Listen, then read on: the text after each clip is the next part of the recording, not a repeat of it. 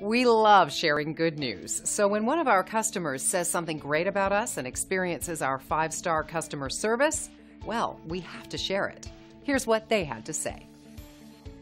I came today, I a little bit late. They accepted me with no problems. They honored my coupons. Um, I had seen some reviews that were saying some things differently, but I called. We had absolutely no issues. I love my hair, and it only took three hours. She just breezed through it.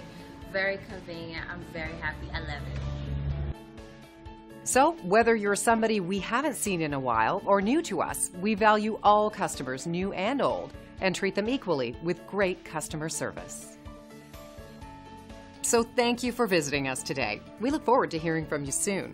Call us today and let us give you the same amazing customer service.